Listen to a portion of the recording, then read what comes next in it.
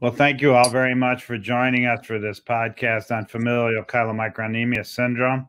And uh, I'm going to start with some background on familial chylomicronemia, and then uh, we'll have Dr. Daniel Gaudet, who is uh, a leader in the field of FCS and also uh, has mentored me along the way with some great advice on patients that I have with this disorder.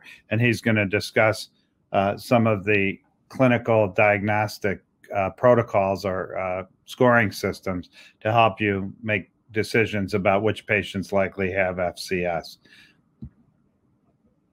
These are my disclosures.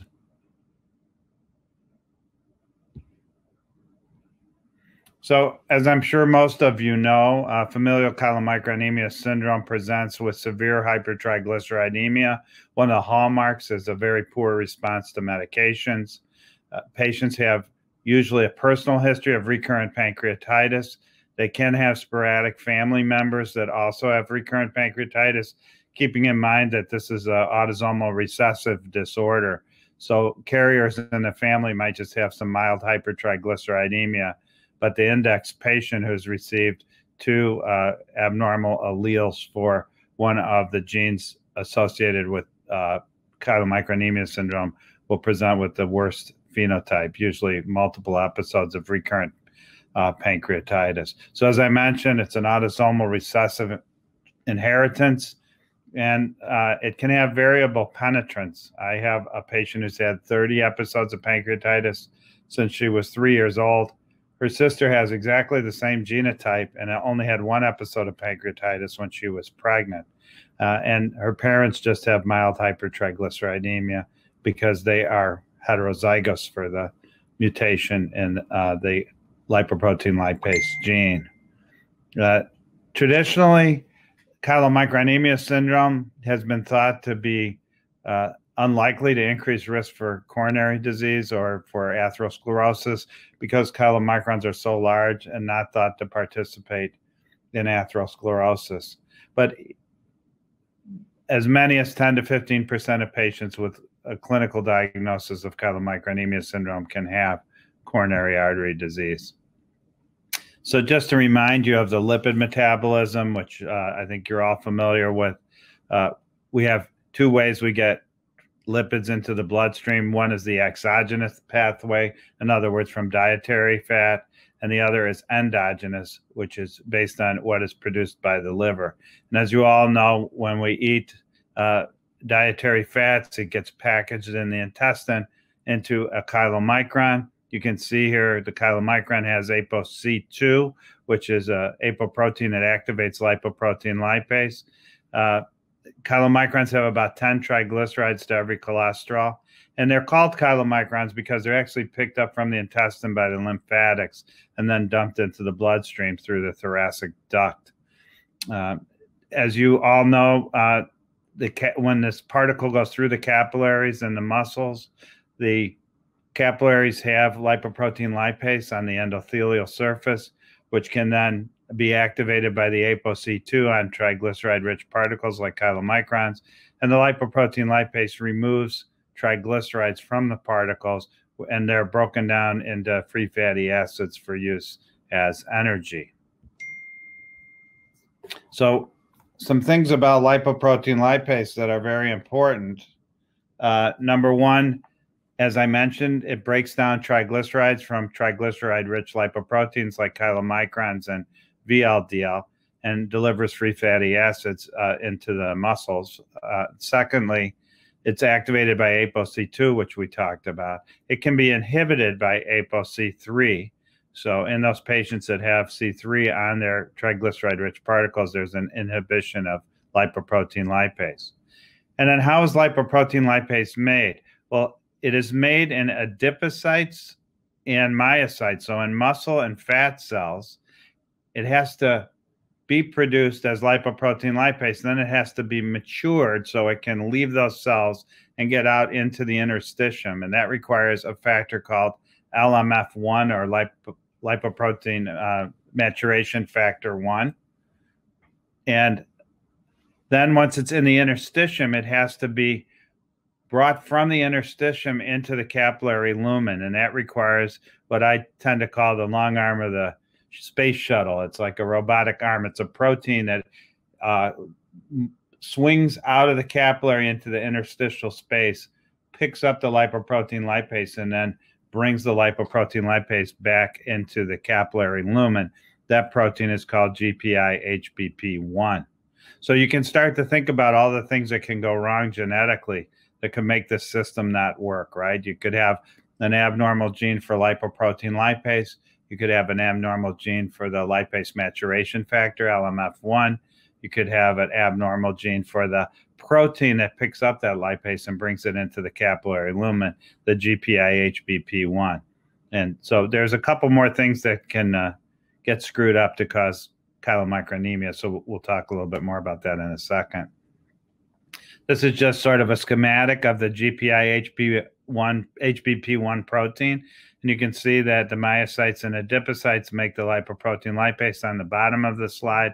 That's in the gets secreted into the interstitium, and then the uh, protein GPI HBP1 swings down into the interstitium, picks up the lipoprotein lipase, and in this picture has brought it back. It's shown in red here, a red dot brought it back into the capillary lumen where it can interact with the chylomicron. And remembering that it's the ApoC2 on the chylomicron that turns on that lipoprotein lipase. This is just a more stylized picture of the protein swinging outside of the capillary lumen, which is shown in pink on the top, picking up the lipoprotein lipase in the subendothelial space and then swinging it back into the capillary lumen where it's available to triglyceride rich particles. Now, one other thing we didn't talk about. So, we talked about LMF1. We talked about the gene for lipoprotein lipase itself. We talked about the protein GPI-HBP1. And we talked about ApoC2 being necessary to activate lipoprotein lipase. But it turns out that apoprotein A5, apolipoprotein A5, which is delivered by HDL uh, to the area where lipoprotein lipase is working on a triglyceride rich particle. And in this diagram, it's VLDL. ApoA5 holds the lipoprotein lipase, the ApoC2, and the lipid particle in the right configuration. It's almost like a fork that grabs all of the pieces and holds them together in the right configuration to facilitate removal of triglycerides. So that's the final gene that can cause uh, familial chylomicronemia syndrome uh, would be a, a, mutation in ApoA5. So there are those five genes that can lead to uh, the monogenic disorder. Now, just to give you an idea of what the relative frequency of these different mutations are, you can see that 95% of patients who present with Uh, FCS have a lipoprotein lipase mutation. So that is sort of the classic discussion that FCS is due to a lipoprotein lipase mutation. About 2% have an ApoC2 mutation, so their C2 doesn't activate lipoprotein lipase. 2% have that long arm of the space shuttle the protein, the GPI HBP1 mutation. And very rare would be an ApoA5 mutation, which is about 0.6% of patients. And LMF1, uh, the lipase maturation factor, would be 0.4%. So the majority of patients you're going to see, which are still relatively rare patients, are going to have a lipoprotein lipase mutation on both alleles uh, because, uh, as I mentioned, it's an autosomal recessive disorder. So it, you should know that um, patients can be carriers. The carriers are going to be heterozygotes. Uh, obviously, the parents will have one mutation, maybe one uh, LPL mutation on one allele and a normal allele uh, on the other allele. And it's the child who gets uh, both bad genes from uh, each parent because it is a recessive trait. Um, and so the parents or the carriers can have mild to moderately reduced uh, lipoprotein lipase activity. They have mild triglyceride elevation, usually in the 200 to 750 range, and frequently have not had a history of pancreatitis. Um, I just wanted to put this slide in here, not to drive you crazy, but to remind me to talk about one thing with ApoC3. I mean, some of you know that there's an antisense medication against ApoC3, which hopefully will be reviewed by the FDA in the next few months, which seems to be quite effective in patients with familial chylomicronemia syndrome. And you might ask yourself, why do patients get benefit when uh, you are inhibiting ApoC3, which would, if you think about it, C3 is an inhibitor of lipoprotein lipase. So if you remove C3, you should have enhanced activity of lipoprotein lipase. On the other hand, these patients often have no activity of their lipoprotein lipase because of uh, mutations in their alleles for the gene for LPL. So why would removing inhibition on a enzyme that doesn't work uh, cause benefit in these patients? And it turns out that ApoC3 doesn't just inhibit lipoprotein lipase. It inhibits other lipases like hepatic lipase, and it may even have some effect on other receptors on the liver that could pick up chylomicrons. So we don't know exactly how this drug works uh, for patients with chylomicronemia syndrome, but even with zero activity of their lipoprotein lipase, they get a, a drop in their triglycerides when given an antisense against ApoC3. And there are a couple theories. One is that uh, the hepatic lipase has inhibition removed, and it can it can uh, increase its affinity for chylomicrons when uninhibited and others that there may be other receptors on the liver that are picking up some of the chylomicrons. The other question that I think if you're interested in lipid metabolism, you might ask yourself is why does this disorder just cause hypertriglyceridemia due to chylomicrons in the blood? Wouldn't you expect to have VLDL go up also if your lipoprotein lipase doesn't work? And that's a very interesting thing because these patients generally just have chylomicrons in their blood. And, and the reason is that hepatic lipase, the lipase on the liver, actually has a much stronger affinity for VLDL than it does for chylomicrons. So it seems like the liver's hepatic lipase can handle uh, the VLDL even in the absence of lipoprotein lipase, whereas uh, it has a hard time clearing chylomicrons. So that's why you see chylomicronemia without VLDL being elevated in the absence of lipoprotein lipase. So the physical findings are uh, common with any cause of hypertriglyceridemia. This isn't specific to chylomicronemia syndrome, but uh, you get these tuberoeruptive xanthomas, and if you biopsy them, they have uh, triglycerides in them. And this is just another example on the trunk. They usually occur on the trunk, the elbows, and the buttocks. You can also get fat deposits in the retina, giving you lipemia retinalis. Um, and those physical findings aren't always there, but they again are not pathognomonic for chylomicronemia, but any severe hypertriglyceridemic syndrome. So let's get terminology down uh, for a second. So these genetic mutations that we talked about, autosomal recessive uh, presentations of a genotype that causes the disease, are called monogenic familial chylomicronemia this is rare. We're talking somewhere around one in a million patients that present with this recessive disorder. And again, they have a very poor response to medication. And currently, the only treatment is to put the patients on an extremely low fat diet, less than 20 grams fat a day. And then they get whatever fat supplementation they get is in uh, the form of medium chain triglycerides, which are absorbed without making chylomicrons. So you just have to reduce chylomicron formation by giving a very low fat diet. Um, on the other hand, there is a syndrome called multifactorial chylomicronemia. We used to call it polygenic, but the better the better descriptive term is multifactorial chylomicronemia syndrome. Those patients tend to have more subtle metabolic disorders, maybe some SNPs that lead to high triglycerides, but they're okay until you add some other triglyceride raising comorbidity on top of it, such as diabetes or uh, insulin resistance, metabolic syndrome, or alcohol. And one of the differentiators is those patients are much more responsive to medication. So if you treat their diabetes, get their blood sugar in order, or you add omega 3s or fenofibrate, you see a much greater response to the therapy uh, with those treatments than you would with monogenic familial chylomicronemia. And I'm going to finish my portion with a little bit about the clinical and psychosocial burden. Uh, I've published an article on this. Mike Davidson published a terrific article on this.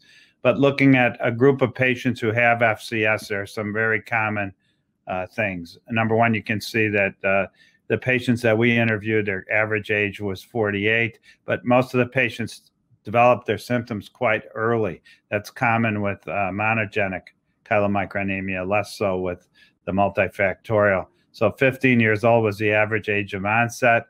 Plasma values of triglycerides on average were in the 10,500 level at, at their max.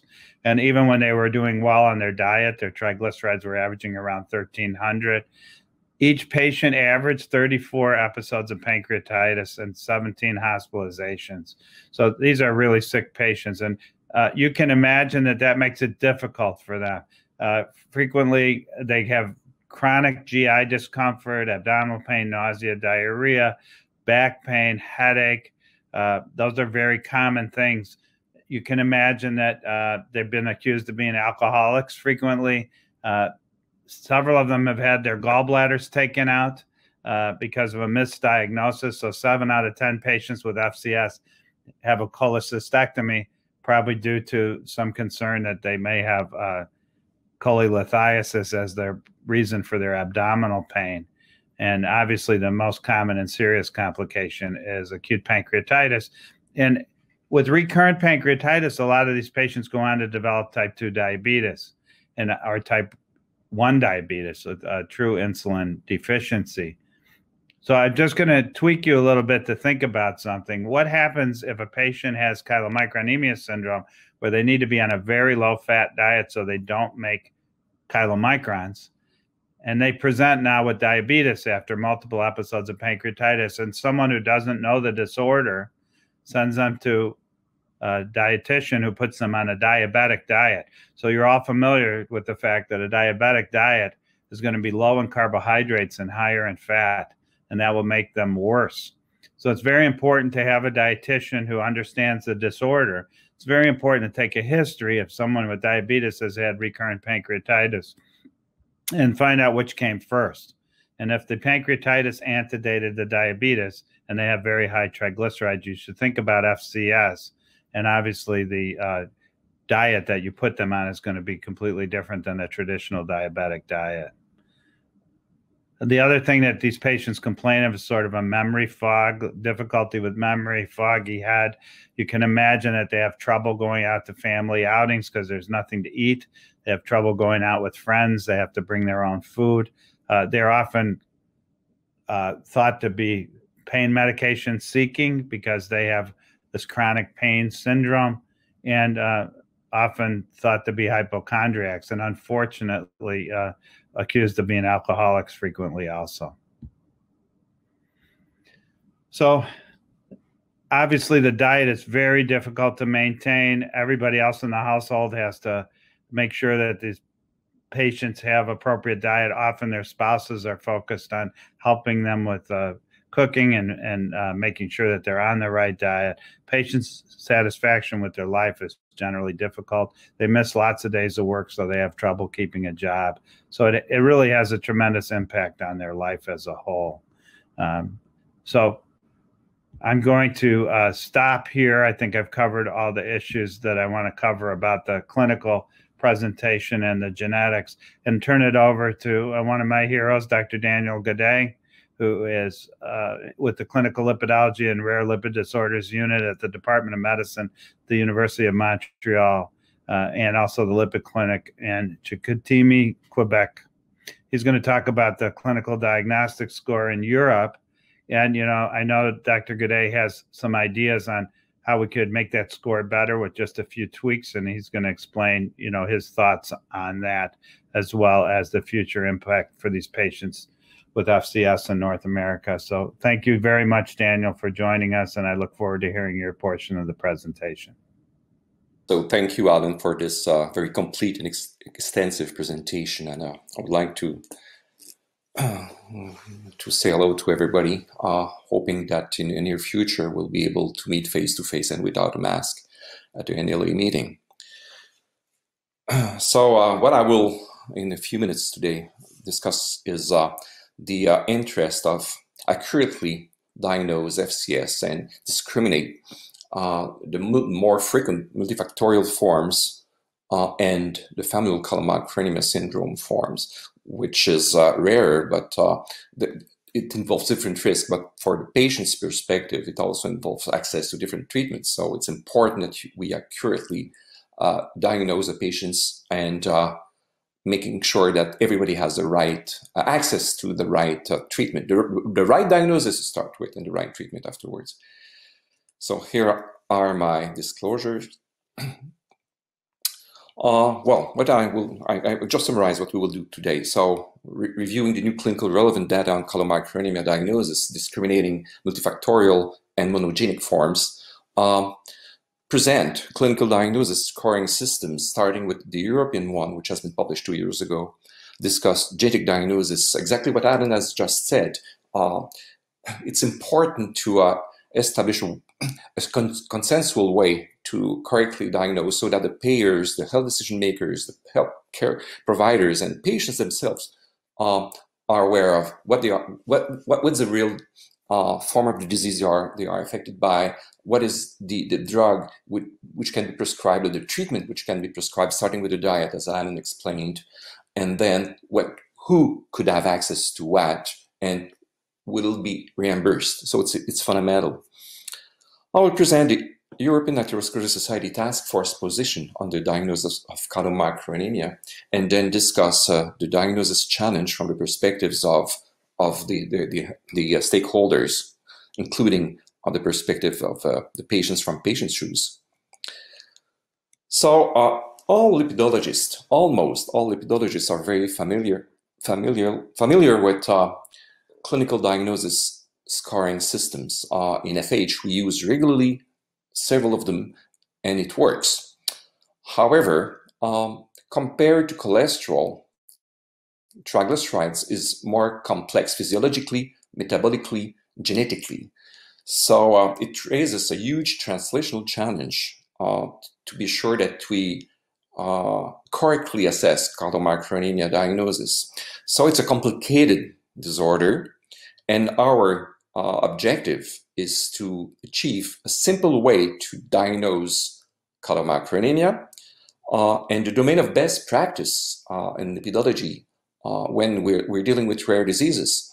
It's almost impossible to um, achieve the level of evidence that that we can reach with more common disorders. So it's it will be based on clinical experience, on expert opinions, and also on patients' experience. What we should avoid, however, and it's imperative that we avoid that, is uh, having kind of a in-between situation, not necessarily chaotic, but I would say unclear, uh, unclear a situation where payers don't know if they have to reimburse this, if the the health decision makers or the uh, regulatory agencies uh, disagree on the, uh, the the the elements that we bring to them, and that the patients themselves don't know exactly what they are suffering of. Uh, due to what Anna also highlighted, uh, in the recent years, let's say it started approximately 10 years ago, uh, when with LPL gene replacement therapy and then the ApoC3 inhibitors uh, and GPTL3 inhibitors, next generation omega-3, there are several new pharmacologic approaches for chylomicronemia, which have been developed are still under development. And it raised interest in, in chylomicronemia for these reasons and other reasons. And the accuracy of, uh, uh, of the diagnosis becomes critical, pivotal. So in the last two years, there have been more publications on chylomicronemia than in the last 30 years. And among these publications, what, what can we uh, just uh, extract from, from uh, what has been published in the last two years. Well, there, there, were more than 40 publications describing or comparing chylomicronemia phenotypes, genotypes, prevalence, physiology, or burden. Uh, FCS diagnosis scoring systems have been proposed and published. Papers on the genetic basis of severe hypertriglyceridemia and polygenic risk scores have been published as well. And as I said, the EAS Task Force on Rare Dyslipidemias has met twice and has finally published uh, in January this year an algorithm to diagnose chylomicronemia. There are more papers than the one on this slide that have been interested in the differential diagnosis of uh, chylomicronemia. But among these papers, uh, what we, we know is that FCS is rare by nature, rare by essence. So it's pivotal again, extremely important that we can discriminate these patients affected by the rare form because the risk is different, because the treatment and access to treatment will be determined, determined by the, uh, the, the, accurate diagnosis. So among the publications, some were uh, specifically dedicated to developing a diagnosis score system. This was the uh, paper published by Moulin and, and, others in atherosclerosis in 2018. Whereas, as I said, the uh, uh EAS uh, task force position paper in, published in January was very different by nature, and all the others are based on either clinical biochemical markers, uh, medical history, or genetic uh, basis of the disease. Let's start from the beginning. Uh, I didn't explain what chylomicronemia is, but let, us let, us uh, summarize the burden of the disease. So, uh, chylomicronemia per se is not fair, not fair at all. Uh, approximately per, per, one, per, one, uh, one over one over 600 individuals might be affected by chylomicronemia, which could be sustained or or not. Uh, the majority of uh, these chylomicronemic patients have a multifactorial or, or polygenic form. The uh, monogenic form, the familial chylomicronemia syndrome, affects one or two per million individuals. And usually it affects us, again, Alan has already covered that.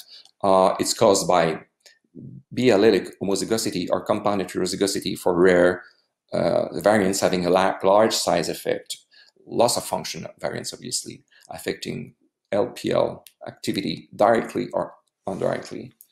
Approximately one third, however, of patients with chylomicronemia have a high polygenic risk score when this has been tested. The challenge is, do we need to, uh, to establish the, the, the, the, genetic, the polygenic risk score to, to achieve or to establish a genetic diagnosis to accurately diagnose FCS? approximately a, little less than 20% uh, uh, of patients have uh, chylomicronemia due, due to heterozygosity for rare loss of function variants, having large size effect plus other parameters, uh, metabolic syndrome, drugs, alcohol, etc. But, and importantly, uh, more than half of patients presenting with chylomicronemia, meaning having triglyceride levels above 10 millimolar or a little less than 900 milligram per deciliter, remain genetically undefined. So let's start from the, uh, the beginning. Chylomicronemia can be sustained or recurrent. If it's just all those affected by the monogenic form, the familial chylomicronemia syndrome, present sustained chylomicronemia. Their TG levels are almost always above 900. However, there are other patients who also present sustained chylomicronemia, and we and highlighted that at the end of this presentation, we don't uh, have identified a genetic basis for this. However, for those affected by multifactorial chylomicronemia, thus can present sustained chylomicronemia, but all, most, most often present episodic or recurrent chylomicronemia that can be treated because these individuals have a LPL biologically they are they are able to produce uh, LPL which is competent and active. Uh, if we treat the underlying causes affecting phys the physio physiological uh, deficiency of LPL, we can bring to the body some LPL capacity so that we can um, be able to decrease TG levels, which is not the case in patients with a monogenic form where they are they have no capacity biologically to produce LPL. This has been covered already by Alan. I won't I won't say a word about that. Sustained chylomicronemia clinical signs. Again, Alan has presented that. So uh, the the specificity and sensitivity of this is uh, is is not sufficient to establish accurate diagnosis because a lot of multifactorial chylomicronemic patients can uh, presenting all of these clinical signs here, one day or another. However, and this has been highlighted already, uh, the FCS consequences are huge um, because it's sustained and because it, it, contributes a very important risk of disease, acute pancreatitis being one of them, but it's not the only one. Uh, the uh, emotional impact on the patient and anxiety is extremely important, but there are a lot of uh, elements that, uh, uh, you know, chylomicronemia per se, it's a lipidology textbook. Uh, it's by essence and nature associated with HDL uh, deficiency of, of, due to different reasons, less HDL particles and lower ApoA1 concentration, uh, problem of HDL maturation, and also we have established that the, the, the, these patients have also cholesterol esterification problem with LCAT deficiency.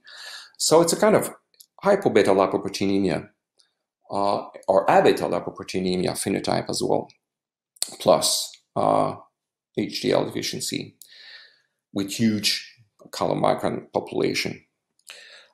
Non-alcoholic fatty liver disease is part of the disease. I'm saying that because there are several agents in development for, for NAFLD or NASH, and some of these agents might be um, helpful for patients affected by chylomicronemia, particularly FCS. So from patient's shoes, again, uh, and as I highlighted uh, this before, so I will not insist, but just try to put yourself for 24 hours in the shoes of a patient affected by the FCS, just in, by eating what they have to eat. Uh, it's it's it's not honestly uh, it, it's not an easy it's not an easy way of life. It's uh, from the patient's perspective, it's not an easy disease it's perceived as being some, something that is not little or rarely little. So um, the risk is underestimated for those having not presented uh, 10 or 100 uh, episodes of acute pancreatitis already. But the, the, uh, the, multis, uh, the, the, the, fear of pancreatitis in the, among patients of FCS is, is, is an important uh, uh, co contributor to the interference with the quality of life. So all this highlight the importance of accurately distinguish between FCS and MCS. So we can, how can we distinguish between both forms? We can obviously measure plasma post-heparin LPL activity, which is unfeasible at the large scale. It's expensive, it's time consuming, it's not validated, and it's risky. Uh, and again, it's not very, for the patients, it's not something which is fun. We can use next generation sequencing technologies and genetic diagnosis but again, it's not available everywhere. Uh, it's not always feasible. But we can develop simple clinical diagnosis scoring systems correlating with one and two with the, uh, genotype and with LPL activity. And this is feasible. However, the EAS Society, the EAS Task Force uh, for the Diagnosis of Chylomicronemia is based on next generation sequencing once uh, sustained chylomicronemia has been demonstrated. So again, it's the in the ideal world that's would be the way to do this uh, if we accept and Alan raised that, and it's true that not all FCS phenotypes uh, will present uh, or, or, or a, a clear-cut genotype associated with the phenotype um, you are all are aware of the existence of circulating antibodies, LPL, circulating antibodies, uh, um, LMF1, GPIHBP1, circulating antibodies, and these are not genetic, uh, genetic, genetic cause of FCS, but it can cause FCS. And there are other forms of polygenic, again, very, uh, the, the accumulation of variants having a small size effect, if you have many of them, you can eventually present FCS without uh, having a clear-cut monogenic diagnosis.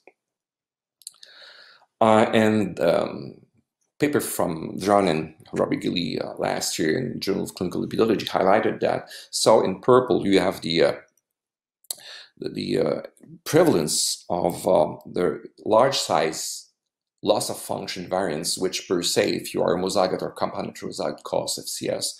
But you, we still, as I highlighted before, more than 50% of individuals for whom we cannot establish the genetic uh, background. So uh, a couple of years ago, um, a couple of clinicians in Europe, in France and in the Netherlands, thought about it, and well, they they decided to try to diagnose chylomicronemia to distinguish familial forms versus multifactorial through um, a sc diagnosis scoring system in parallel and at the same time, and we, we, we, we didn't contact each other. We were working on, this, on, on the same uh, kind of, of, of tool. The European uh, diagnosis scoring system is based on uh, a score is a, a, a, weight given to different clinical metabol or metabolic variables. TG levels, obviously, uh, and TG levels, well, it, it's it's uh, if it's sustained, that means that if you have low TG levels, you might not be uh, from an FCS. Um, controlling for secondary causes is essential uh, history of pancreatitis, we should understand that not all FCS patients have had the pancreatitis episode. It's exactly the same paradigm that we see in FH. Not all of them, um, without treatment, will develop uh, a cardiac event uh, at the same age. But there are patients who have had so many episodes that they present pancreatic insufficiency. Um, there, there are a couple of elements that the European scoring system doesn't take into account, and we'll cover that rapidly. And there is something that they have considered, which might not be uh, the best way to do it at this time. So, but the exercise was important, but it was not consensual. It has to be op optimized. So they they are considered the family family history, uh, and the uh, if they consider that if you are FCS, which is a recessive disorder that your family history will be will be normal so that you you won't have an history of familial combined hyperlipidemia, which is not the case, by the way, because being a carrier of, LP, of LPL null variant is not neutral. Um, so, but the scores the score works quite well. We, we assess that. And just to highlight the fact that it's, it's important to consider the family history in FCS patients, it is in multifactorial forms as well. The family history cannot distinguish between FCS and MCM because in both situations you'll have uh, familial combined hyperlipidemia-like uh, history. The majority of heterozygotes will be either not present a normal lipid profile, they could present moderate hypertriglyceridemia, severe hypertriglyceridemia if they are other factors involved. Low HDL, isolated low HDL, high ApoB without not anything else. So it's variable, but there there is a, a, a multiple possible phenotypes in the affected relatives. So uh, in a set of 145 heterozygotes uh, of uh, in in, a in 17 families, FCS families, uh, we have observed that the majority of LPL variants could could present almost all uh, Fredrickson class class of lipid disorder and, and we add to that isolated hypoalpha. However, something which is interesting is that the European scores, as presented, correlates quite well with post-heparin LPL activity. We have assessed that in a set of FCS patients, which were homozygous, homozygotes for uh, null LPL variants, and heterozygotes for the same mutation. So uh, the uh, coefficient of determ determination is uh, 0.63. So 62% of the score can be 62% of the LPL activity correlates with the score. This is excellent, but it means that it's we're not there. Uh, in, in, in uh, it's it's not enough, but it's very very good. So there are strengths and limitations of the European clinical diagnosis scoring system, and of uh, limitation and strengths for the EAS um, algorithm, which is more based on genes. Um, the, the, European clinical diagnosis scoring system fairly correlates with, with the genetic diagnosis and PHLA. It's based on simple and widely available variables. It does not consider key samples var var variable characterizing FCS physiology, such as LDL cholesterol, ApoB, the, the anthropometrics. Uh, it's not necessarily adequately weighed the family history in several, several cases. So there is a risk of misclassification of some cases, and this can be easily improved, and that's something that we I will present in a few minutes. The genetic diagnosis scoring system, well, it's very good to identify almost all monogenic forms except those with, uh, as, as explained before, with, with other parameters. It facilitates family screening of heterozygote carrier, carriers in uh, affected pedigrees. It provides a clear diagnosis to the patient, uh, an accurate risk assessment, and importantly, uh, guarantee access to therapies. However, NGS technologies are not available or affordable everywhere. And uh, again, it may not identify some phenotypic FCS or cases of sustained chylomicronemia of other causes, as explained. Uh, this comes from the approach and COMPASS clinical trials, uh, pa patients coming from, which was evaluating volanesorsen, which is an ApoC3 ASO. So these, there were 57 FCS patients and hundreds of multifactorial in, in if we combine both studies. Uh, and the exercise was to uh, to look at simple variables to discriminate between FCS and MCM. Uh, and in, interestingly, if you look at uh, the, uh, the, the ROC, uh, the uh, curves and the sensitivity and specificity parameters, LDL cholesterol, ApoA1, ApoB, BMI, HDL cholesterol, pancreatitis history, uh, TG levels are very good correlates. This and we, there were cutoffs established for each of these variables in the in these studies, which are a little bit different than the the one the ones that have been used in Europe or the one that we have used. But there is more and more data being providing evidence that we can establish a very good uh, diagnosis through um, diagnosis scoring systems. What we have done and published this year uh, is approximately the same, but what I'm highlighting here is uh, the importance of the BMI to, uh, well, you, you, will, there are some FCS who are obese, but it's rarer. But there are some FCS who are uh, lean, I mean unhealthy uh, weight uh, with BMI below 20 or 18 in some cases. Overweight and, or obesity is rarer in FCS and, it's very, very frequent in multifactorial, which is very often associated with the metabolic syndrome.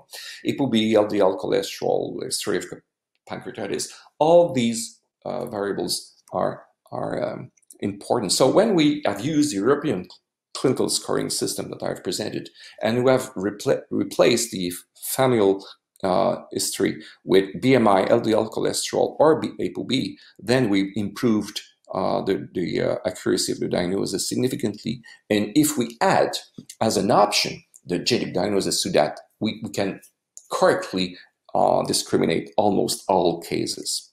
So in conclusion, translating the severe hypertriglyceridemia complexity into a valid, simple, affordable, global diagnosis algorithm requires uh, an international effort. That's what has been done in the, la the last two years, and it's very interesting.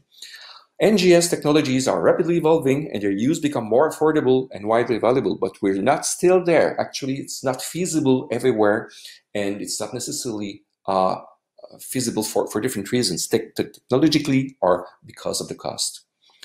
Clinically useful diagnosis scoring systems for chylomicronemia have been developed and can be improved based on the results of recent studies characterizing FCS and MCM. So uh, moving to, towards a global diagnosis approach of chylomicronemia, uh, we have learned a lot of things in the recent years. First of all, uh, there are key characteristics we can distinguish accurately FCS from MCM, uh, and they are easily easy to measure or to document. Anthropometrics, LDL cholesterol, um, the uh, prior history of uh, uh, medical history of pancreatitis age diagnosis, secondary causes, response to fibrate, because the majority of FCS patients will not respond or very poorly respond to agents uh, having a mechanism, mechanism of action driven by LPL activity. Um, and the use of next generation sequencing technology of, to, of or of genetic diagnosis, uh, it, it, it has to be used if it's available, if affordable, and for all ambiguous phenotypes um, based on clinical scores or limit clinical scores.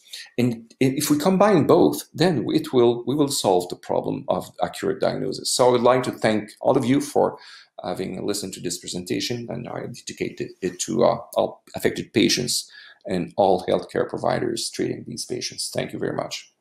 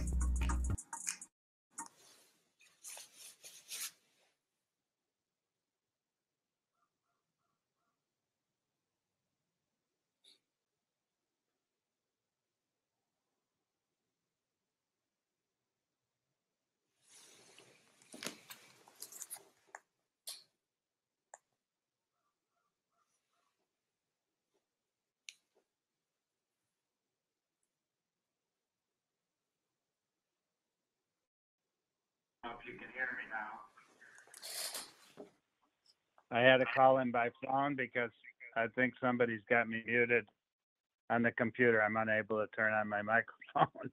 I apologize for the technical difficulties. I don't quite understand why the phone uh, was getting louder and softer.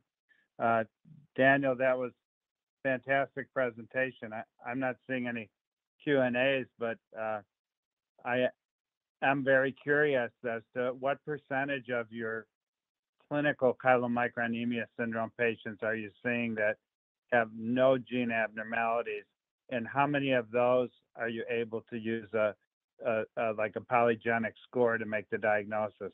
I saw that it was 50% or greater that didn't have monogenic uh, abnormality.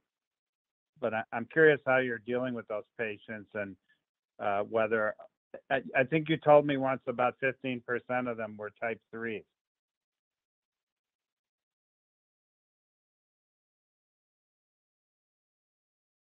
Okay, uh, for the multifactorial forms, we can split the, this uh, this Christmas tree into uh, more specific diagnosis. So type 3 patients, some of them can present recurrently chylomicronemia the, the, the first challenge is to distinguish between FCS and multifactorial chylomicronemia. I mean, monogenic form are all phenotypes being similar to the monogenic forms. And as you highlighted, and it's true, there are patients who phenotypically uh, are clear FCS patients, but for whom we are, we are unable to establish uh, the monogenic demonstration of, of, of causality and having a high polygenic score uh, can be interesting, I mean, philosophically, but uh, the, the challenge here is to uh, providing an accurate diagnosis to the patient and making sure that this patient have access to therapies being developed specifically for rare disorders and the FCS disease. Uh, and I, I'm aware of I, I know that uh, several of my colleagues across Canada, at least, have patients who have to come to, to for, for apheresis, chylomicron apheresis, regularly having recurrent pancreatitis, but no uh, genetic causes having been um, identified as causing this phenotype. The uh, multifactorial form one size doesn't fit all. If uh, if it's like it's important to uh, to, to to to to more accurately diagnose the the, uh, the, the multifactorial forms, and yes, several of them uh, present type 3 dyslipidemia if uh, even in, in, in, heterozygotes for APOE2 if they are uh, they have a high polygenic score or if they are heterozygotes for loss of function mutations. Yes, I have APO E2 E2 patient who has uh, an APOA5 heterozygous mutation, and he behaves exactly like a monogenic chylomicronemia. I'm not quite sure why he doesn't respond to any therapy, but he's had uh, multiple episodes of pancreatitis. And I have a 14 year old South Asian girl who's had about 10 episodes of pancreatitis, uh, non responsive to any triglyceride lowering therapy. And she's has negative genotype. All her five genes were normal, and I believe her ApoE mutations or, or uh, genotype was also normal. So I struggle with those people, and I, I'm hoping that your scoring system will somehow help us get access to the medications for these patients. Convince the regulators that uh, it's important that uh, the, con- uh, consider either the a high di- di- clinical diagnosis score or the genetic diagnosis, something that has been applied to FH. So, uh, and it's feasible. I'm looking at some questions here. Um, one, one was asking a question about type 3C diabetes in patients with FCS. Well, that's an interesting question because patients with FCS uh, frequently develop diabetes.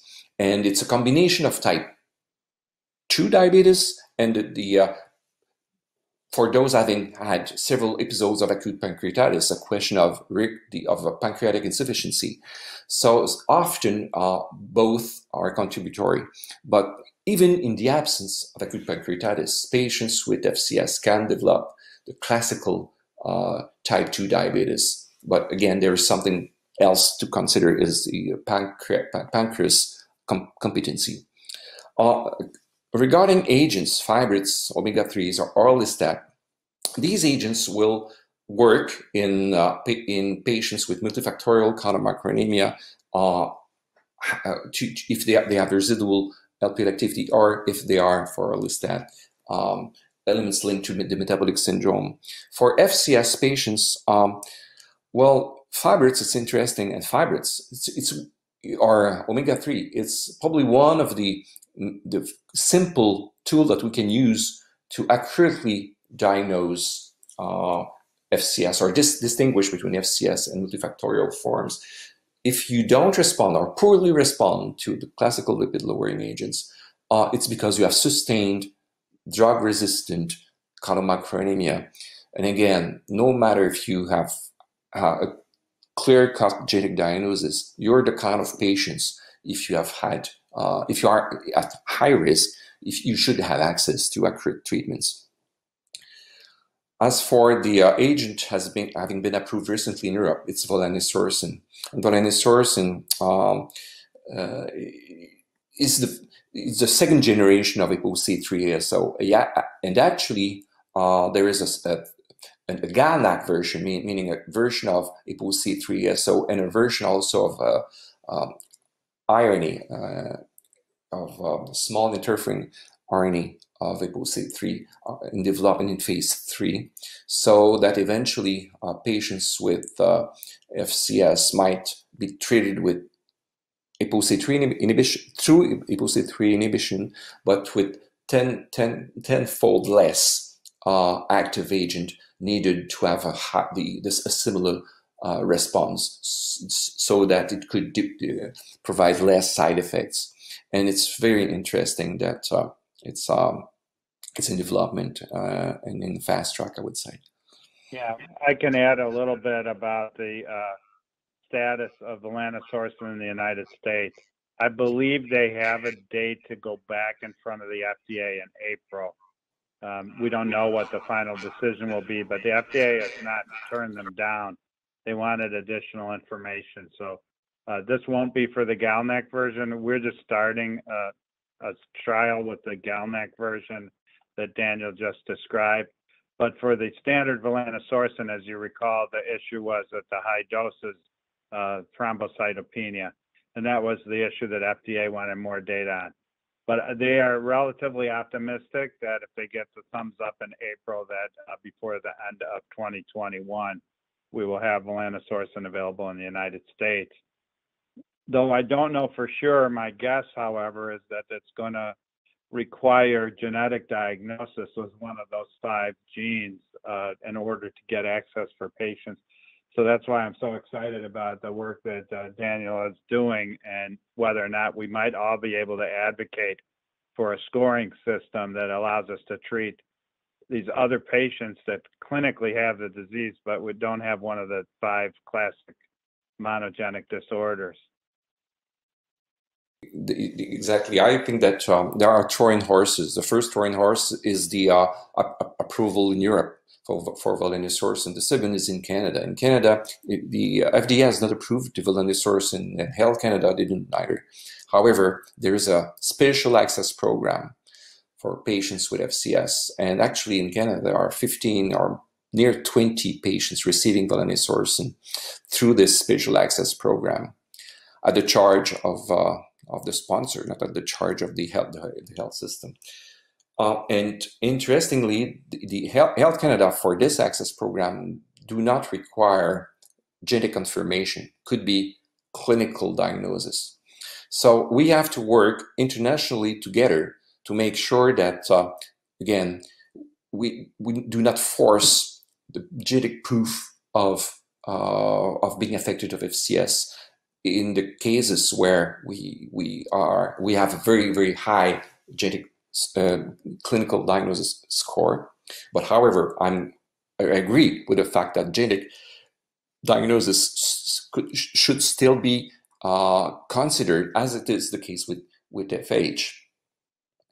Uh, the question was is uh, these for those patients not having uh, already defined or identified monogenic cause or being heteros, compound heterozygote or homozygote for a null variant. Do have we performed wide exome sequencing or GWAS? And the answer to that is yes. And there are patients, and aware of patients who, for, for whom we have not we have not been able to uh, to identify through uh, exome sequencing on the genetic basis. Uh, having said that, however, there are epigenetic factors involved. Uh, and you know, the epigenetic signature of FCS is different from the factorial due to the diet to start with. And as you are probably aware of, uh, there are 9% of genes who are not transcripted, they are not translated due to epi epigenetic interference. So it might be part of the answer. Actually, so thank you, Alan, for this uh, very complete and ex extensive presentation. And uh, I would like to to say hello to everybody, uh, hoping that in the near future we'll be able to meet face to face and without a mask at the NLA meeting. So, uh, what I will in a few minutes today discuss is uh, the uh, interest of accurately diagnose FCS and discriminate uh, the more frequent multifactorial forms uh, and the familial chylomicronemia syndrome forms, which is uh, rarer, but uh, the, it involves different risks. But for the patient's perspective, it also involves access to different treatments. So it's important that we accurately uh, diagnose the patients and uh, making sure that everybody has the right uh, access to the right uh, treatment, the, the right diagnosis to start with, and the right treatment afterwards. So here are my disclosures. Uh, well, what I will I, I, will just summarize what we will do today. So, re reviewing the new clinical relevant data on chylomicronemia diagnosis, discriminating multifactorial and monogenic forms, um, present clinical diagnosis scoring systems, starting with the European one, which has been published two years ago, discuss genetic diagnosis, exactly what Alan has just said. Uh, it's important to uh, establish a, a consensual way to correctly diagnose so that the payers, the health decision makers, the health care providers, and patients themselves um, are aware of what they are, what, what what's the real uh, form of the disease they are they are affected by, what is the, the drug which, which can be prescribed, or the treatment which can be prescribed, starting with the diet, as Alan explained, and then what who could have access to what, and will be reimbursed. So it's it's fundamental. I will present the European Atherosclerosis Society Task Force position on the diagnosis of chylomicronemia, and then discuss uh, the diagnosis challenge from the perspectives of, of the, the, the, the uh, stakeholders, including on the perspective of uh, the patients from patients' shoes. So uh, all lipidologists, almost all lipidologists are very familiar, familiar, familiar with uh, clinical diagnosis scoring systems. Uh, in FH, we use regularly several of them, and it works. However, um, compared to cholesterol, triglycerides is more complex physiologically, metabolically, genetically. So uh, it raises a huge translational challenge uh, to be sure that we uh, correctly assess chylomicronemia diagnosis. So it's a complicated disorder, and our uh, objective is to achieve a simple way to diagnose chylomicronemia. Uh, and the domain of best practice uh, in lipidology uh, when we're, we're, dealing with rare diseases, it's almost impossible to um, achieve the level of evidence that that we can reach with more common disorders. So it's it will be based on clinical experience, on expert opinions, and also on patients' experience. What we should avoid, however, and it's imperative that we avoid that, is uh, having kind of a in-between situation, not necessarily chaotic, but I would say unclear, uh, unclear in situation where payers don't know if they have to reimburse this, if the the health decision makers or the uh, regulatory agencies uh, disagree on the, uh, the the the elements that we bring to them, and that the patients themselves don't know exactly what they are suffering of. Uh, due to what I, Anna also highlighted uh, in the recent years, let's say it started approximately 10 years ago, uh, when with LPL gene replacement therapy and then the ApoC3 inhibitors uh, ANGPTL3 inhibitors, next generation omega-3, there are several new pharmacologic approaches for chylomicronemia, which have been developed or are still under development. And it raised interest in, in chylomicronemia for these reasons and other reasons. And the accuracy of, uh, uh, of the diagnosis becomes critical, pivotal. So in the last two years, there have been more publications on chylomicronemia than in the last 30 years. And among these publications, what, what can we uh, just uh, extract from, from uh, what has been published in the last two years? Well, there, there, were more than 40 publications describing or comparing chylomicronemia phenotypes, genotypes, prevalence, physiology, or burden uh, FCS diagnosis scoring systems have been proposed and published. Papers on the genetic basis of severe hypertriglyceridemia and polygenic risk scores have been published as well. And uh, as I said, the EAS task force on rare dyslipidemias has met twice and has finally published uh, in January this year an algorithm to diagnose chylomicronemia. There are more papers than the one on this slide that have been interested in the differential diagnosis of uh, chylomicronemia. But among these papers, uh, what we, we know is that FCS is rare by nature, rare by essence. So it's pivotal again, extremely important that we can discriminate these patients affected by the rare form because the risk is different, because the treatment and access to treatment uh, will be determined, determined by the, uh, the, the, accurate diagnosis. So among the publications, some were uh, specifically dedicated to developing a diagnosis score system. This was the uh, paper published by Moulin and, and, and, others in atherosclerosis in 2018. Whereas, as I said, the uh, uh, EAS uh, task force position paper in, published in January was very different by nature, and all the others are based on either clinical biochemical markers, uh, medical history, or uh, genetic uh, basis of the disease. Let's start from the beginning. Uh, I'll then explain what chylomicronemia is, but let, us let, us uh, uh, summarize the burden of the disease. So, uh, chylomicronemia per se is not rare, not rare at all. Uh, approximately per, one, per, one, uh, one over one over 600 individuals might be affected by chylomicronemia, which could be sustained or or not.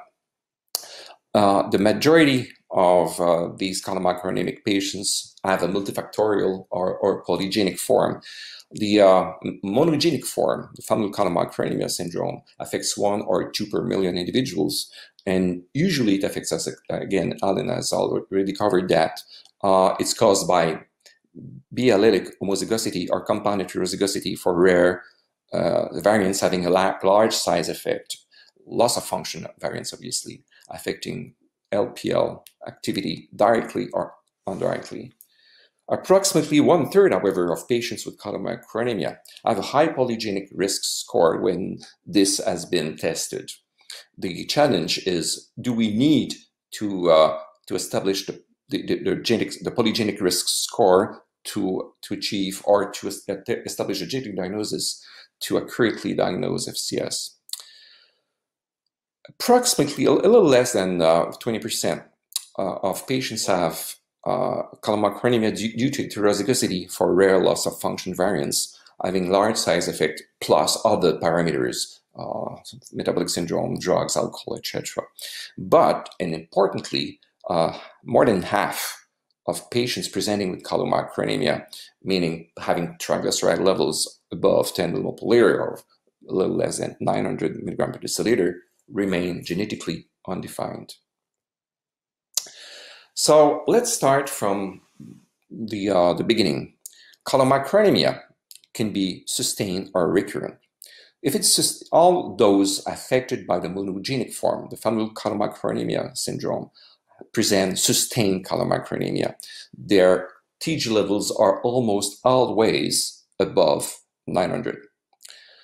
However, there are other patients who also present sustained chylomicronemia, and we and highlighted that at the end of this presentation, we don't uh, have identified a genetic basis for this.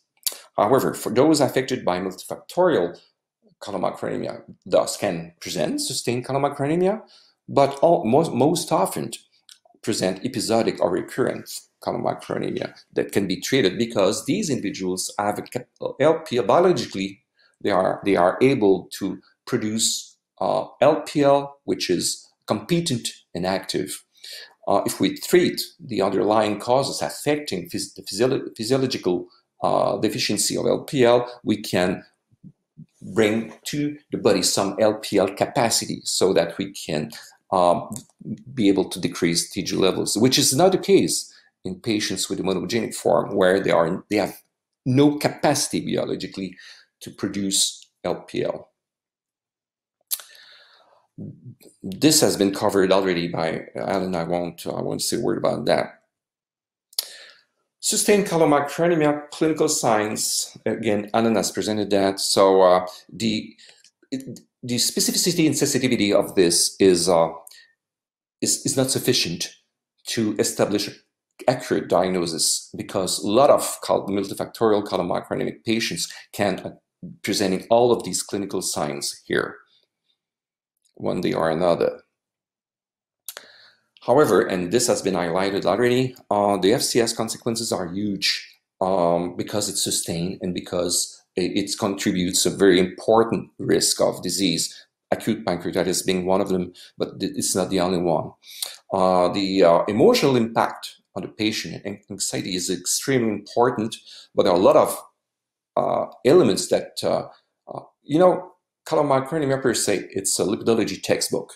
Uh, it's by essence and nature associated with HDL uh, deficiency of, of, due to different reasons, less HDL particles and lower ApoA1 concentration, uh, problem of HDL maturation, and also, we have established that the, the, the, these patients have also cholesterol esterification problem with LCAT deficiency.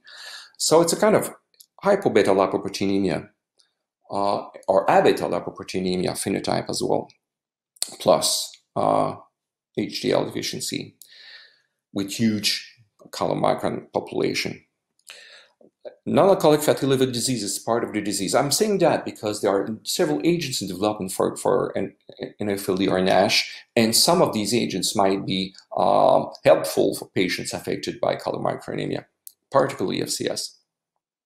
So from patient's shoes, again, uh, and as I highlighted uh, this before, so I will not insist, but just try to put yourself for 24 hours in the shoes of a patient affected by the FCS just in, by eating what they have to eat. Uh, it's it's it's not honestly uh, it, it's not an easy it's not an easy way of life. It's uh, from the patient's perspective, it's not an easy disease. It's perceived as being some, something that is not little or rare little. So um, the risk is underestimated for those having not presented uh, 10 or 100 uh, episodes of acute pancreatitis already. But the, the uh, the uh, the, the, the, fear of pancreatitis in the, among patients of FCS is, is, is an important uh, uh, co contributor to uh, the interference with the quality of life. So all this highlight the importance of accurately distinguish between FCS and MCS. So we can, how can we distinguish between both forms? We can obviously measure plasma post-heparin LPL activity, which is unfeasible at the large scale. It's expensive, it's time consuming, it's not validated, and it's risky. Uh, and again, it's not very, for the patients, it's not something which is fun. We can use next generation sequencing technologies and genetic diagnosis, but again, it's not available everywhere. Uh, it's not always feasible. But we can develop simple clinical diagnosis scoring systems correlating with one and two with the, uh, genotype and with LPL activity. And this is feasible. However, the EAS Society, the EAS Task Force uh, for the Diagnosis of Chylomicronemia is based on next generation sequencing once uh, sustained chylomicronemia has been demonstrated. So again, it's the in the ideal world, that's would be the way to do this uh, if we accept and Alan raised that, and it's true that not all FCS phenotypes uh, will present uh, or, or, uh, a clear-cut genotype associated with the phenotype. Um, you are all are aware of the existence of circulating antibodies, LPL, circulating antibodies, uh, um, LMF1, GPIHBP1, circulating antibodies, and these are not genetic, uh, genetic, genetic cause of FCS, but it can cause FCS. And there are other forms of polygenic, again, very, uh, the, the, accumulation of variants having a small size effect, if you have many of them, you can eventually present FCS without uh, having a clear-cut monogenic diagnosis. Uh, and um, paper from John and Rob Hegele uh, last year in Journal of Clinical Lipidology highlighted that. So in purple, you have the uh, the, the uh, prevalence of um, the large size loss of function variants, which per se, if you are homozygote or compound heterozygote, cause FCS. But you, we still, as I highlighted before, more than 50% of individuals for whom we cannot establish the genetic uh, background. So uh, a couple of years ago, um, a couple of clinicians in Europe, in France and in the Netherlands, thought about it, and well, they they decided to try to diagnose chylomicronemia to distinguish familial forms versus multifactorial through um, a sc diagnosis scoring system in parallel and at the same time, and we, we, we, we didn't contact each other. We were working on, a, on, on the same uh, kind of, of, of tool.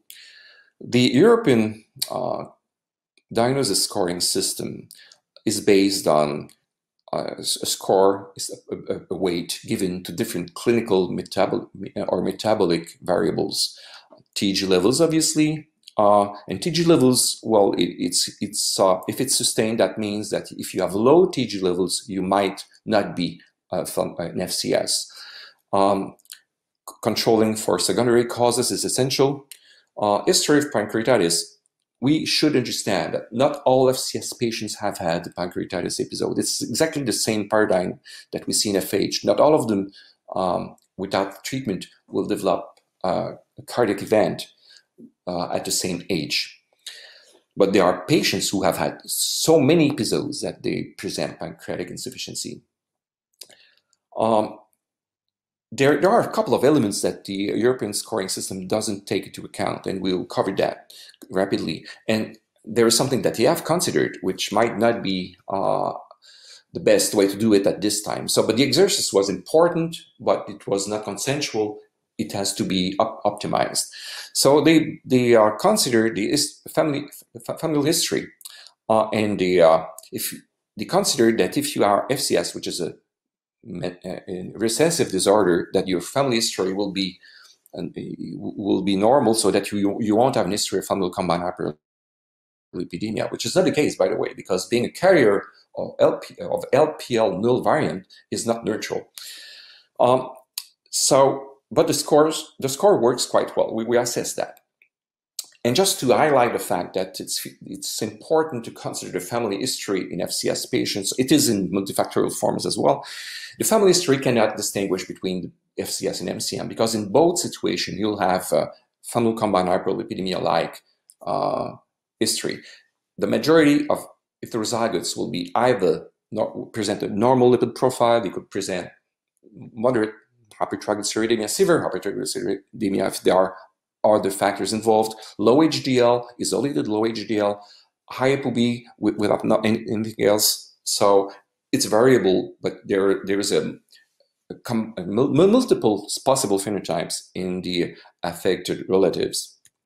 So uh, in a set of 145 heterozygotes uh, of uh, in in, uh, in 17 families, FCS families, uh, we have observed that the majority of LPL variants could could present almost all uh, Fredrickson class class of lipid disorder.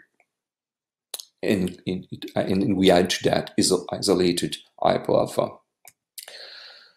However, something which is interesting is that the European scores, as presented, correlates quite well with post-heparin LPL activity. We have assessed that in a set of FCS patients, which were homozygous, homozygotes for uh, null LPL variants, and heterozygotes for the same mutation.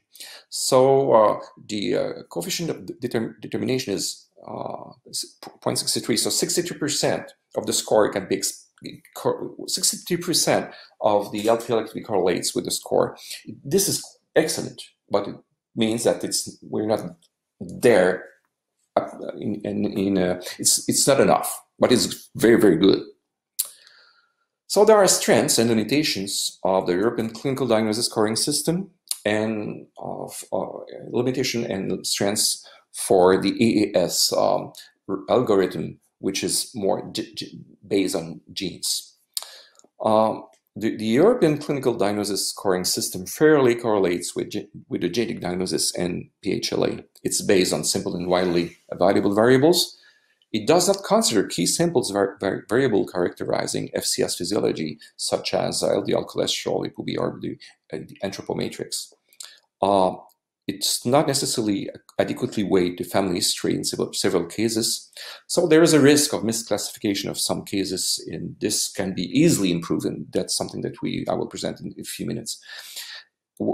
The genetic diagnosis scoring system, well, it's very good to identify almost all monogenic forms except those with, uh, as, as explained before, with, with other parameters. It facilitates family screening of heterozygote carrier, carriers in uh, affected pedigrees. It provides a clear diagnosis to the patient, uh, an accurate risk assessment, and importantly, uh, guarantee access to therapies. However, NGS technologies are not available or affordable everywhere. And uh, again, it may not identify some phenotypic FCS or cases of sustained chylomicronemia of other causes, as explained. Uh, this comes from the approach and COMPASS clinical trials uh, pa patients coming from which was evaluating volanesorsen, which is an ApoC3 ASO. So these there were 57 FCS patients and hundreds of multifactorial in, in if we combine both studies. Uh, and the exercise was to uh, to look at simple variables to discriminate between FCS and MCM. Uh, and in, interestingly, if you look at uh, the, uh, the, the ROC uh, the uh, curves and the sensitivity and specificity parameters, LDL cholesterol, ApoA1, ApoB, BMI, HDL cholesterol, pancreatitis history, uh, TG levels are very good correlates. This and we, there were cutoffs established for each of these variables in the in these studies, which are a little bit different than the the one the ones that have been used in Europe or the one that we have used. But there is more and more data being providing evidence that we can establish a very good uh, diagnosis through um, diagnosis scoring systems. What we have done and published this year uh, is approximately the same, but what I'm highlighting here is uh, the importance of the BMI to, uh, well, you, you, will, there are some FCS who are obese, but it's rarer. But there are some FCS who are uh, lean, I mean unhealthy uh, weight uh, with BMI below 20 or 18 in some cases. Overweight and, or obesity is rarer in FCS and, it's very, very frequent in multifactorial, which is very often associated with the metabolic syndrome. ApoB, LDL cholesterol, history of pancreatitis, all these uh, variables are, are um, important. So when we have used the European clinical scoring system that I've presented, and we have repl replaced the familial uh, history with BMI, LDL cholesterol, or ApoB, then we improved uh, the, the uh, accuracy of the diagnosis significantly. And if we add as an option the genetic diagnosis to that, we, we can correctly uh, discriminate almost all cases. So in conclusion, translating the severe hypertriglyceridemia complexity into a valid, simple, affordable, global diagnosis algorithm requires uh, an international effort. That's what has been done the, la the last two years, and it's very interesting. NGS technologies are rapidly evolving and their use become more affordable and widely available, but we're not still there. Actually, it's not feasible everywhere and it's not necessarily uh, feasible for, for different reasons, te technologically or because of the cost. Clinically useful diagnosis scoring systems for chylomicronemia have been developed and can be improved based on the results of recent studies characterizing FCS and MCM. So uh, moving to, towards a global diagnosis approach of chylomicronemia, uh, we have learned a lot of things in the recent years. First of all, uh, there are key characteristics we can distinguish accurately FCS from MCM, uh, and they are easily easy to measure or to document. Anthropometrics, LDL cholesterol, um, the uh, history of uh, medical history of pancreatitis age diagnosis, secondary causes, response to fibrate, because the majority of FCS patients will not respond or very poorly respond to agents uh, having a mechanism, mechanism of action driven by LPL activity.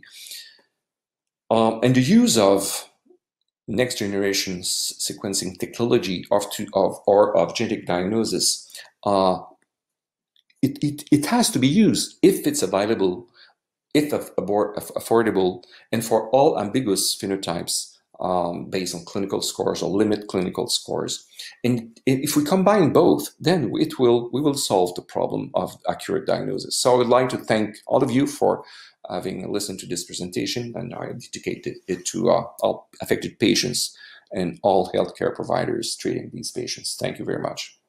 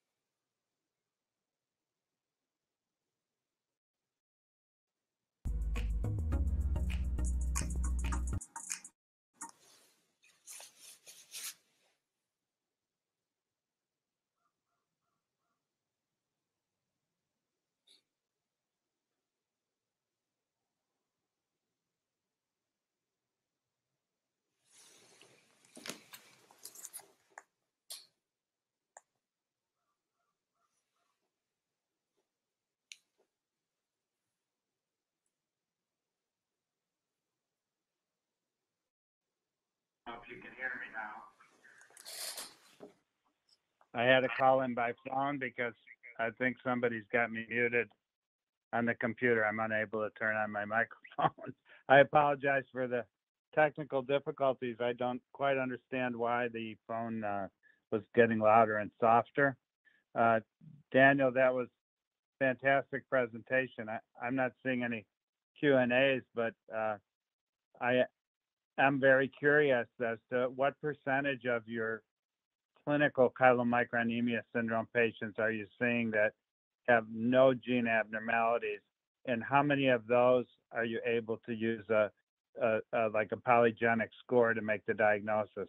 I saw that it was 50% or greater that didn't have monogenic uh, abnormality.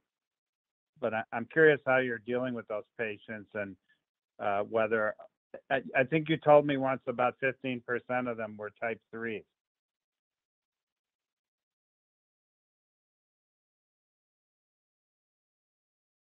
Okay, uh, for the multifactorial forms, we can split the, this uh, this Christmas tree into uh, more specific diagnosis. So type 3 patients, some of them can present recurrently chylomicronemia.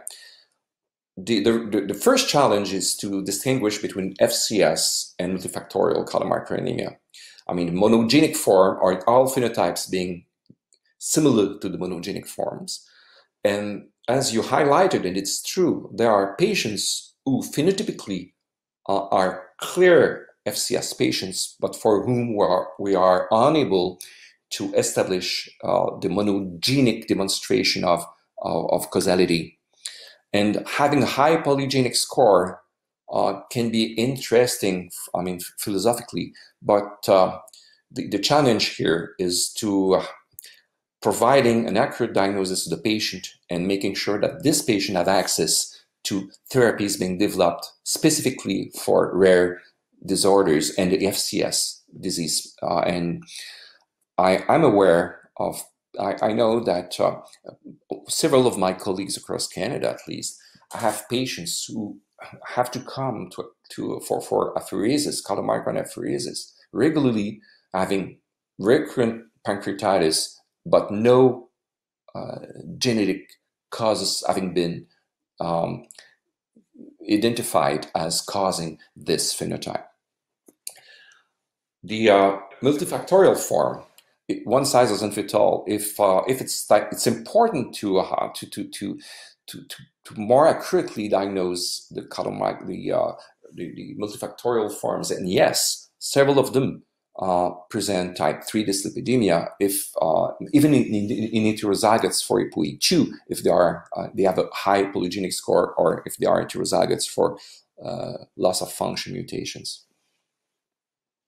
Yes, I have a ApoE2 E2 patient who has uh, an ApoA5 heterozygous mutation and he behaves exactly like a monogenic chylomicronemia.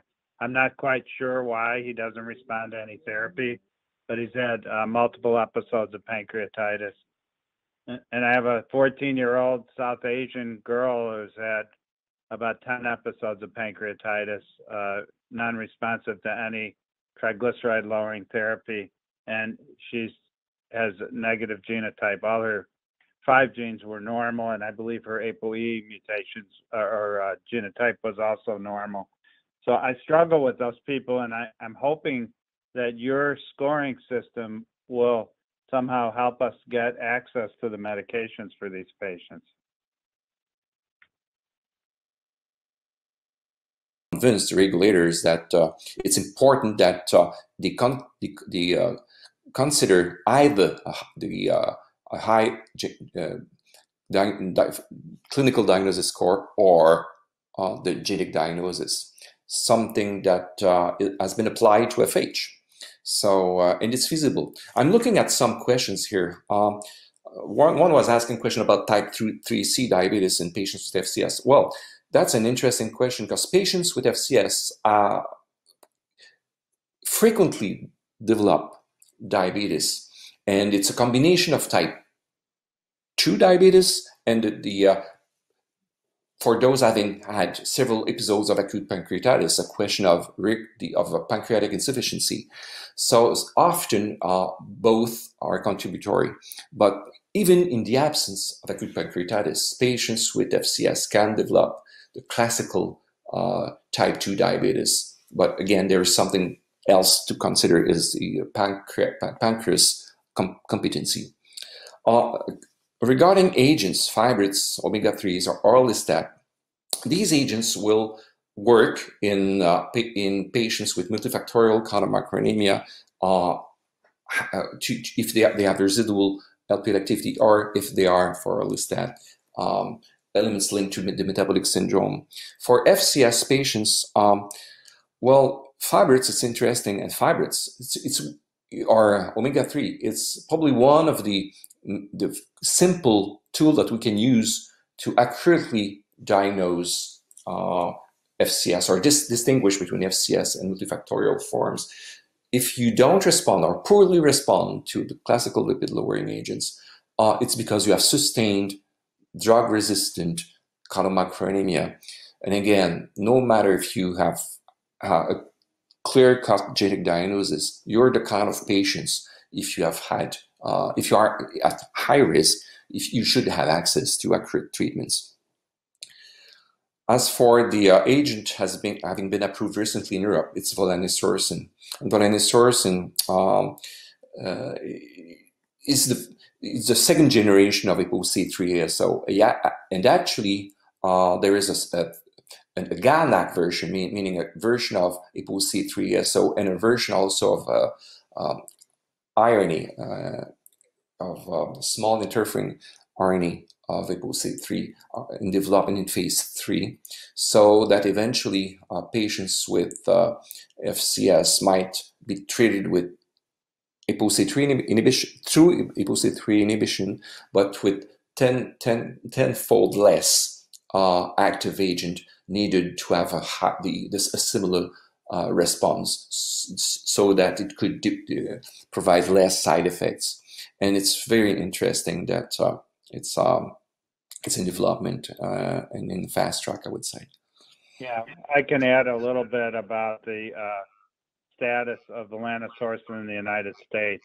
I believe they have a date to go back in front of the FDA in April.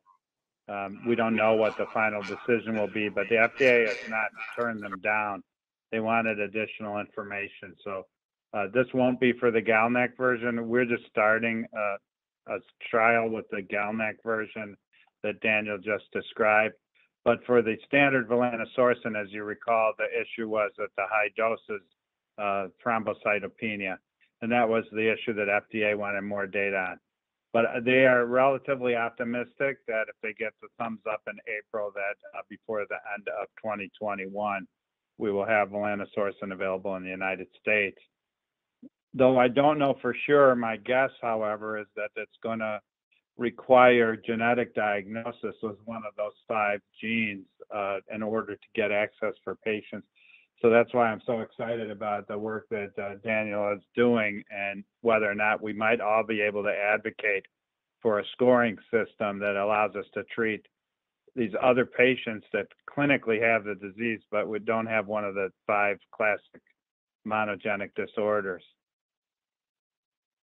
exactly. I think that um, there are Trojan horses. The first Trojan horse is the uh, approval in Europe for, for and The second is in Canada. In Canada, the FDA has not approved the volanesorsen, and Health Canada didn't either.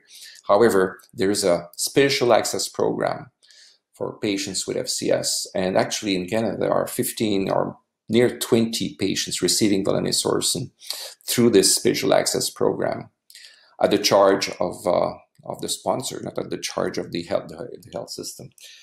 Uh, and interestingly, the, the health, Canada for this access program do not require genetic confirmation, could be clinical diagnosis.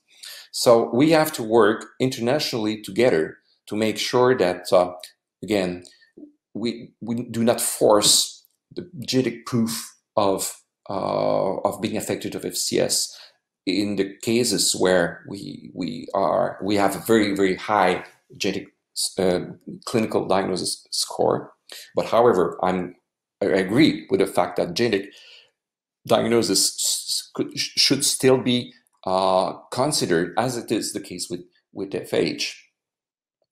Uh, the question was, is uh, these for those patients not having uh, already defined or identified monogenic cause or being heteros, compound heterozygote or homozygote for a null variant, do have we performed wide exome sequencing or GWAS? And the answer to that is yes. And there are patients, and aware of patients who, for, for whom we have not not been able to uh, to identify through uh, exome sequencing on the genetic basis. Uh, having said that, however, there are epigenetic factors involved. Uh, and you know, the epigenetic signature of FCS is different from the factorial due to the diet to start with. And as you are probably aware of, uh, there are 9% of genes who are not transcripted, they are not translated due to epi epigenetic interference. So it might be part of the answer. Actually, and currently, we are performing a epi wide epigenomic um, study of patients with FCS compared to a multifactorial. Actually, and currently, we are performing a epi wide epigenomic um, study of patients with FCS compared to a multifactorial.